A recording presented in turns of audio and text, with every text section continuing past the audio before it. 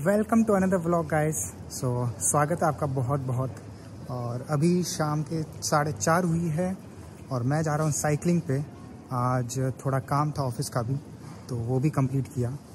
London में temperature भी अभी बढ़ने लग गया है। मतलब आज जो टेम्परेचर था एट डिग्रीज था। तो उसकी वजह से क्या, सर्दी कम होने लगी और आज धूप भी निकली थी ना। तो आज मौसम भी थोड़ा सुहावना हो गया है। हमारे घर के पास ही दो तीन पार्क्स है तो एक पार्क तो मैंने आपको पिछली वीडियो में दिखा दिया था। और अब मैं जा रहा हूँ एक दूसरे पार्क में। तो वहाँ पे देखता हूँ कैसा माहौल है साइकिलिंग के लिए सही रहेगा या नहीं।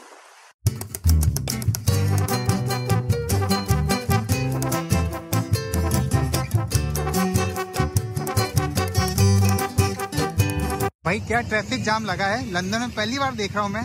डेढ़ साल हो गए रहते हुए बट इतना बड़ा ट्रैफ़िक जाम नहीं देखा मैंने। मैं आपको क्लियरली दिखाता हूँ। अरे यार, ये बस आ गई बीच में। ये देखो दोस्तों, एकदम आप लेफ़्ट हैंड साइड में देखो, इतनी गाड़ियाँ जाम लगी हुई है।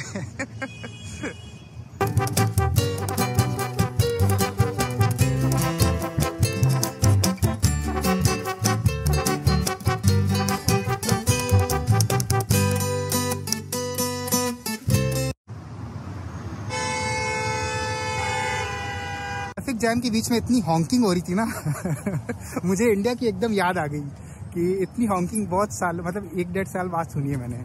इतनी सारी गाड़ी एक साथ हॉन्क कर रही थी। यार, यहाँ का सिस्टम मुझे बहुत सही लगता है। तो ये मतलब पेडिस्ट्रियंस के लिए बना हुआ है सिस्टम पूरा। तो अगर यहाँ पे रेड है ना तो मतलब उस टाइम आप रोड क्रॉस नहीं कर सकते हो, क्योंकि गाड़ियों के लिए वो ग्रीन सिग्नल है। बट जब भी ये ग्रीन हो जाएगा ना तो उस टाइम मैं रोड क्रॉस कर पाऊँगा और उस टाइम गाड़ियाँ सब स्टॉप हो जाएगी। तो मैं आपको बताता हूँ यहाँ पे। तो बटन तो प्रेस हो रखा है। तो जैसे यहाँ पे ग्रीन होगा ना तो देखना सब गाड़ियाँ स्टॉप हो जाएगी। और फिर हम इजीली जा सक, जा सकेंगे। मतलब पेडिस्ट्रियंस हो गया साइकिलिस्ट हो गया, वो सब। ये देखो सिग्नल ग्रीन हो गया है, सब गाड़ियाँ स्टॉप हो गई यहाँ पे। तो अब हम इजीली जा सकते हैं यहाँ पे। लेकिन अब ये वापस रेड हो गया है तो बहुत कम टाइम के लिए खुला था तो मैं अब नेक्स्ट राउंड में जाऊँगा।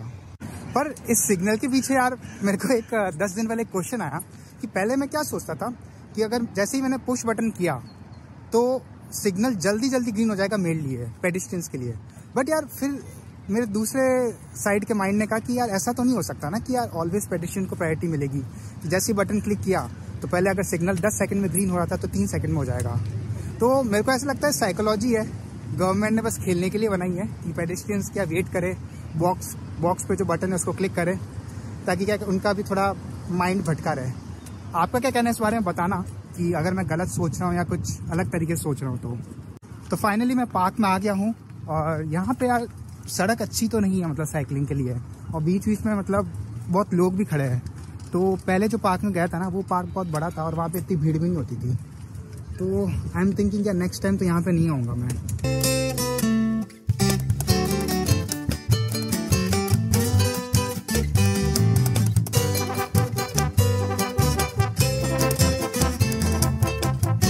जैसे ही मैंने बोला कि सर्दी कम है, सर्दी बढ़ना स्टार्ट हो गई है तो मैंने ये ऑब्ज़र्व किया है कि ड्यूरिंग डे टाइम ना, ठंड कम रहती है बट जैसे जैसे सनसेट पास होने लगता है ना, सर्दियाँ बढ़ने, सर्दी बढ़ने लगती है। और यार ये पार्क तो बहुत ही ज़्यादा छोटा है।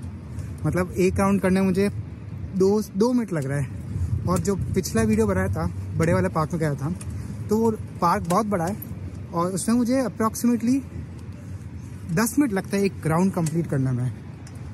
तो यार नेक्स्ट टाइम तो मैं यहाँ पे बिल्कुल नहीं आऊँगा। मेरे को ये लगता है पार्क खेलने के लिए और चिल करने के लिए सही है। साइकिलिंग के लिए तो बिल्कुल सही नहीं है। साइकिलिंग में बिल्कुल मज़ा नहीं आ रहा है दोस्तों। इतना छोटा पार्क है ना, और बीच में इतने लोग आते हैं ना तो स्पीड कभी पकड़ पकड़ ही नहीं पाता हूँ मैं साइकिल की। तो मैं सोच रहा हूँ यार तीस मिनट हो गए तो रेस्ट कर लूँ बुक पढ़ लूँ, क्योंकि सनसेट होने को आया ही है। पंद्रह मिनट और है। लेकिन बुक पढ़ने से पहले एक इंटरेस्टिंग चीज़ आपके साथ आपके साथ शेयर कर देता हूँ। कल मैं एक यूट्यूब रील देख रहा था शॉर्ट हाँ। तो उसमें लंदन के बारे में एक इंटरेस्टिंग फैक्ट बता रहे थे, और वो ये बता रहे थे कि लंदन एक ऐसा शहर है ऑल ओवर द वर्ल्ड में, जिसके छः एयरपोर्ट्स हैं लंदन के पास। बट ताजू की बात यह है कि ये सारे एयरपोर्ट छः एयरपोर्ट्स लंदन के बाहर सिचुएटेड है एक्सेप्ट वन जो सिटी एयरपोर्ट के नाम से पॉपुलर है, जो सिटी में ही है, लंदन के मतलब लंदन के अंदर ही है। बाकी पाँचों एयरपोर्ट लंदन के आउटस्कर्ट्स में हैं। और मेजोरिटी ऑफ़ द एयरपोर्ट्स है ना, पहले सिविलियन एयरपोर्ट्स नहीं हुआ करते थे। ये सेकेंड वर्ल्ड वॉर टू के टाइम इसको मिलिट्री बेस की तरह यूज़ किया जाता था। तो बाद में क्या हुआ, इस मिलिट्री बेस को कन्वर्ट कर दिया सिविलियन एयरपोर्ट की तरह।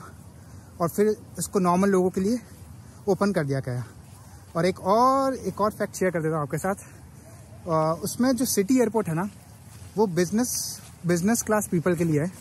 मतलब वहाँ पे आप देखोगे ना जनरली बिज़नेस वाले लोग जाते हैं वहाँ से फ्लाई करते हैं। और अभी मेरी यूट्यूब फ़ीड पूरा है ना, अनंत अंबानी की शादी से भरा पड़ा है। अभी मार्च एक से मार्च तीन के बीच में इसका पूरा इवेंट है ना। तो जब भी यूट्यूब ओपन करता हूँ शॉर्ट्स ओपन करता हूँ, कोई ना कोई इसका शॉर्ट दिख ही जाता है। तो यार मतलब बड़े बड़े लोग आ रहे हैं बिल गेट्स आए हुए हैं, और रियाना आई है सिंगर और मतलब बहुत सारे डेलीगेट्स फॉरेन डेलीगेट्स और मतलब बॉलीवुड स्टार सेलिब्स देखे मैंने यार मतलब शॉर्ट्स में। तो आप, आपने क्या एक पेक्यूलर चीज़, एक अच्छी चीज़ ऑब्ज़र्व की? कुछ यूनिक चीज़ आप शेयर करना चाहते हो? बताना कमेंट बॉक्स में। मैंने बुक पढ़ ली है अराउंड 10-15 मिनट के लिए और थोड़ा यूट्यूब भी वॉच कर लिया है। तो उसमें मुझे ध्रुव राठी का शॉर्ट दिखा।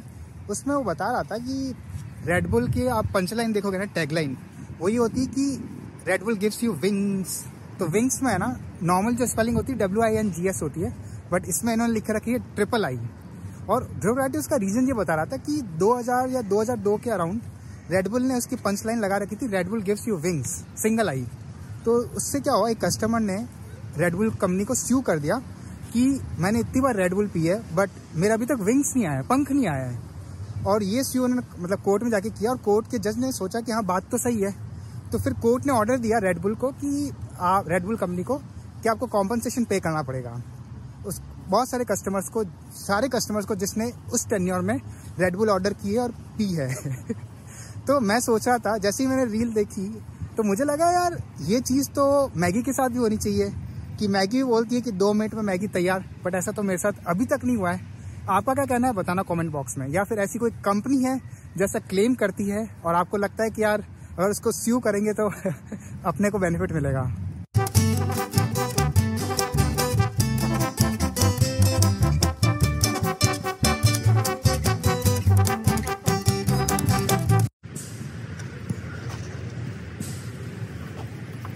तो अभी शाम के साढ़े छः बज गई है और मैं पार्क से निकल गया हूँ। अब थोड़ी ग्रॉसरी शॉपिंग करने जा रहा हूँ। तो चलो आपको भी लेके चलता हूँ।